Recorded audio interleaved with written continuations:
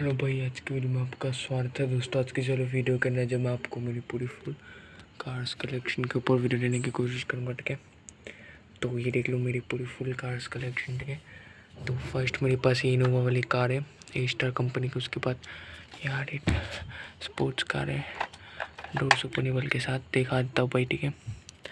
कुछ इस टाइप से।